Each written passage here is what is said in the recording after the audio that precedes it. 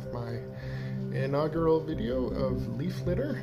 Uh, I wanted to talk to you, start everything off with explaining what is black water, um, what is white water, uh, what are some other varieties of water that we can get uh, in our aquariums. Uh, so I really want to start with an embarrassing uh, admission.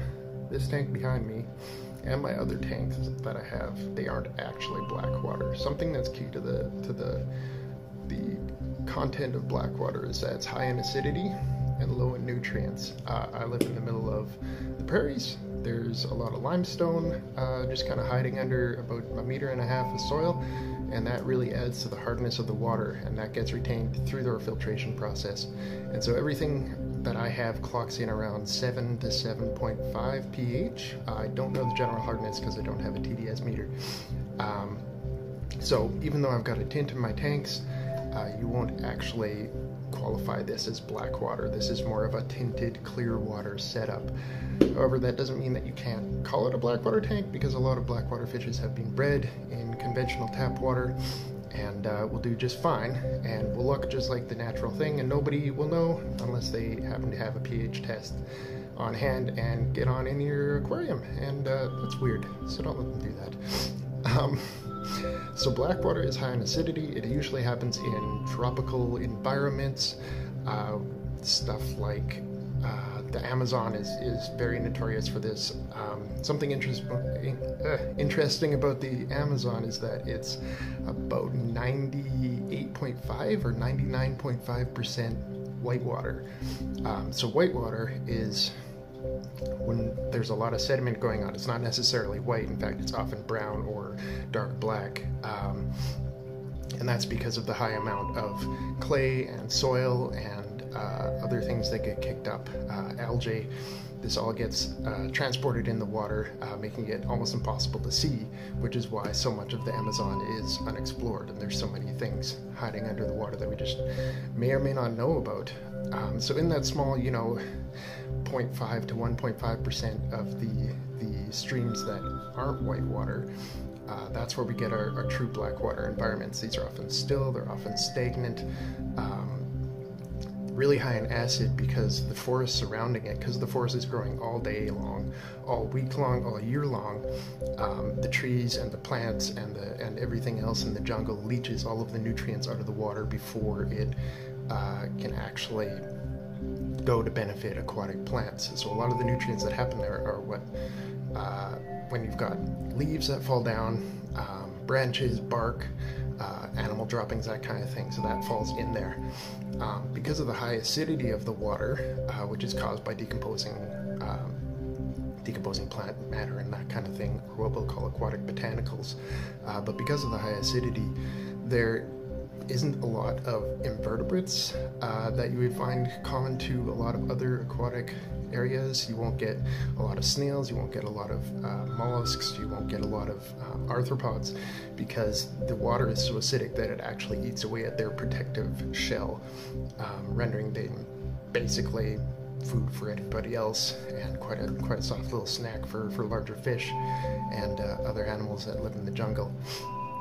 Um, what you do find a lot of, though, uh, because there aren't these invertebrates that would normally consume uh, your, your plankton and stuff, is a lot of planktonic uh, creatures. So you get a lot of um, algae, you get a lot of phytoplankton, uh, and these things all feed on the decomposing plant matter, and they actually um, they, they provide a perfect environment for raising young fish. And so even though you don't have these conventional arthropods or, or brine shrimp or whatever, uh, you'll actually, these fish can survive on this phytoplankton, which is part animal, part plant, uh, but all very soft shelled, like worms and that kind of thing.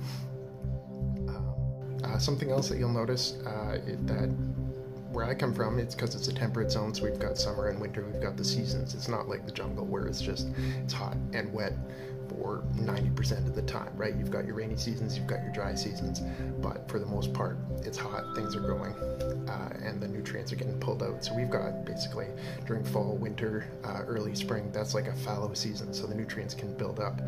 Uh, so a lot of the water around where I live is technically white water. So once again, lots of suspended sediment. Uh, the other thing that will happen um, because of that suspended sediment, you get black mud rivers, which is not technically the releasing of tannins necessarily, but it's, it's dark soil that leaches up and colors the water uh, dark or tea colored or completely impenetrable. So that brings us to clear water setups, which is kind of what this aquarium is here. Um, it does have a bit of a tint. I've been doing really large 50% weekly water changes on it uh, to try to combat an algae situation uh, that happened because of a lot of bad events that combined. Um, so this is more of a tinted clear water situation. So this would be clear water usually happens where there's not a lot of sediment in the water and the water is being replenished, uh, usually by like a mountain stream, that kind of thing.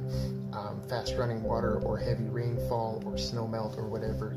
Uh, and so that basically just keeps the water looking clean and pure and pristine. A lot of fish like these conditions. Um, Plecostomus actually really love this because uh, it gives their sucker mouths uh, something to grab onto and they can utilize that. They don't have to worry about predators, that kind of thing. Um, so yeah, so this is a, more of a clear water sit, setup. Uh, I would call it tinted clear water. So this is what you would see in a, in a, in a stream or a river uh, that's fast moving. Uh, you can also see this in lakes uh, because there's not a lot of water movement kicking stuff up or that kind of thing. Um, you might find lakes would be more green water. That's a different issue. Um, but generally they would be considered a clear water environment as well. Uh, they will have a lot of decomposing vegetation, but a lot of that would be aquatic or just falling in off the banks, right? So these are great breeding places for uh, large predators uh, and the smaller prey fish that they feed on.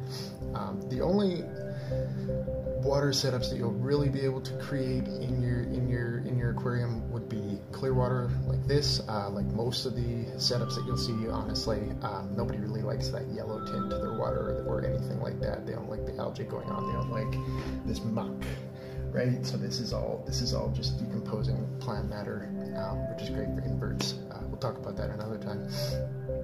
Um, yeah, you won't really be able to create uh, black mud river because you won't be able to see anything, and your fish may or may not like that. It'll, it'll be hard to, to find food, that kind of thing. Uh, catfish love it because they, they don't really have to look around. They use their barbels to find food. Um, and whitewater is also kind of the same thing. Uh, there's just there's just too much going on visually to make your aquarium look good and to really be sustainable for your hardware because that if you've got that much sediment going around that'll really wear out your filtration. Um, yeah so there you go. You've got you've got the four kinds of water. You've got black water you've got white water you've got clear water uh, and we talked a little bit about black mud rivers. So hopefully you learned something and uh, we'll see you again. Thanks for watching